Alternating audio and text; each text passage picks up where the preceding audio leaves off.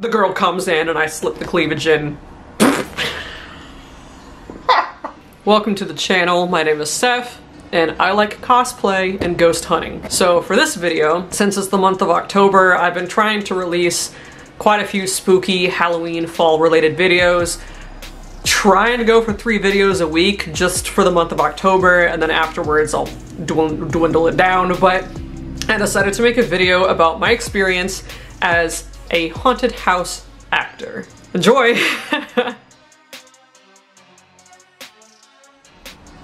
so for this video, I have just two stories in mind that I'm going to relate to you. They are kind of recent stories. That being said, I have been working in haunted houses for about 10 years now. I've done acting, directing, casting, uh, special effects, makeup, set design, uh, across the board, I've done quite a lot.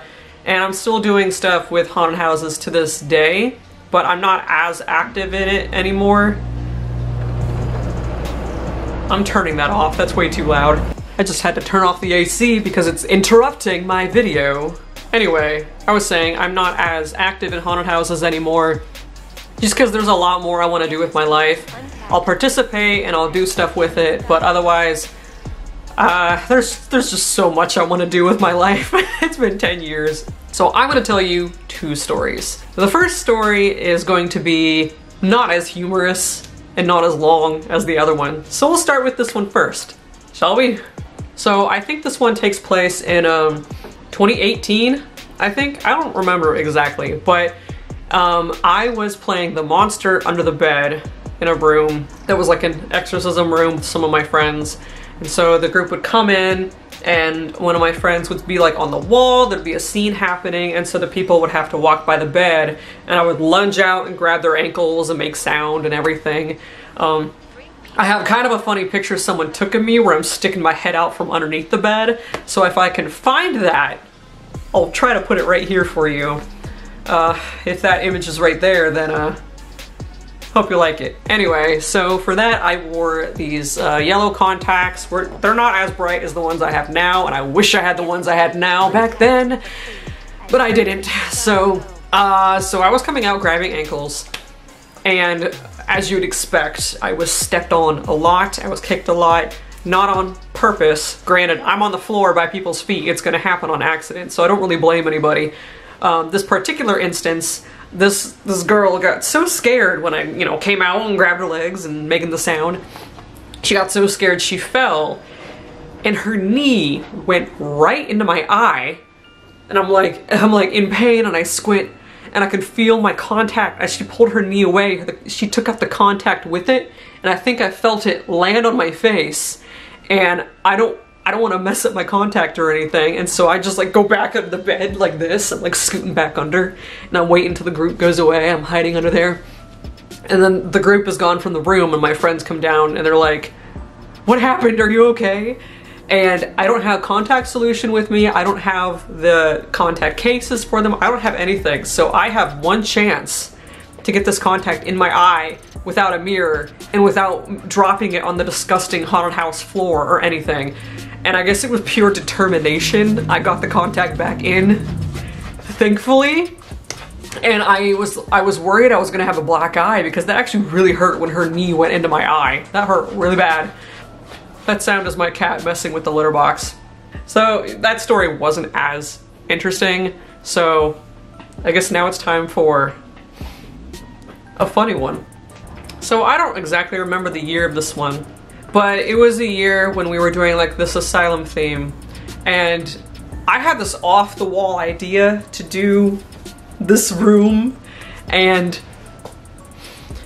you know what? I'll just find that picture and I'll just I'll just put it here where I decided to make this mask and to just paint the wall like this and to make it about teeth and I had that roller thing that like pop, you know, when you push it and you're a kid and it pop, pop, pop as you roll it. And I had that and I was like, I had my legs like crossed like this. So I, would, I would walk like this and I would like just make baby cr cry sounds.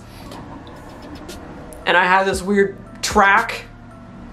If I can find the track, I'll I'll play it.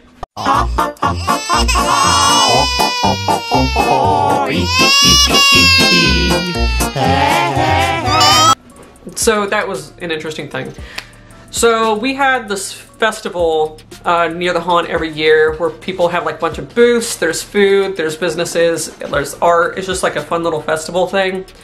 And I acquired a bunch of these little silicone rubber fetuses. I had a bunch of them. I collected, I, I, had a bunch of them. And I was working the booth for the haunt and then like a couple of these people come up and they're friends with my friend. So I didn't even know these people, but they were friends of a friend, so we're talking because my other friend's working at the booth. Yeah. And she's like, oh, I'm really excited to come through. And I'm like, oh, you're not gonna know it's me when you come through though, because I'm gonna have a mask on. And I had like black mesh and I had a really dark room with a red light. So I was like, you're not gonna know it's me. I may not know it's you, but you know, it should be fine. And I said, in order for you to tell that it's me,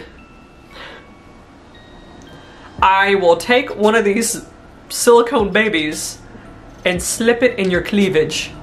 And she was like, yes, yes, please do that. So anyway, we're we're in action, we're we're haunting, it's open, and I had a lot of these little fetuses, so they were little surprise gifts to other people coming through. I just wanted to make sure I had a specific one to slip in that girl's cleavage. Uh, so yeah, people coming through got a little surprise in their pocket. If I could get like the back, like their hood right here, I would just kind of slip it in there. So some people got a fun little surprise in my room. Uh, I need a bit of my cider. So a group walks in and I'm like, oh, it's her, she's here. Okay, awesome. I'm gonna let her know it's me. So I, in the middle of me crying and doing my creepy thing, I take it, I had like a strap where I had him strapped like ammo across my dress, and I just, into her cleavage. And she looked at me like, and then left the room. And it was at that moment that I realized that wasn't her. That that wasn't her. That was a stranger who I just slipped a fetal baby into the cleavage of. Well, uh, she didn't complain. She didn't say anything. I don't know what she thought about it. I don't know who she is. And then a couple groups later, the girl comes in and I slip the cleavage in.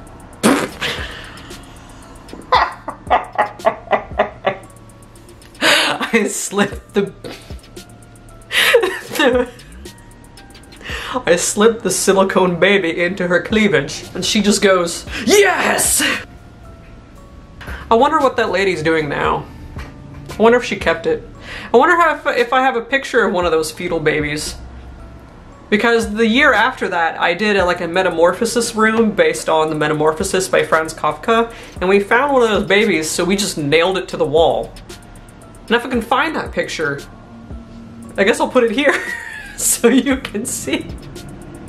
I have a lot of haunted house stories. Some of them are really quick to tell you, some of them are a little bit longer and need more explanation. Um, so if that's something that you're interested in, let me know uh, by give me a thumbs up or leave a comment below or something and I'll just make more videos on my experience working at haunted houses. I could probably go on and on. So I hope you enjoyed that video. Hope you're having a lovely day or had a lovely day. And don't forget, stay spooky.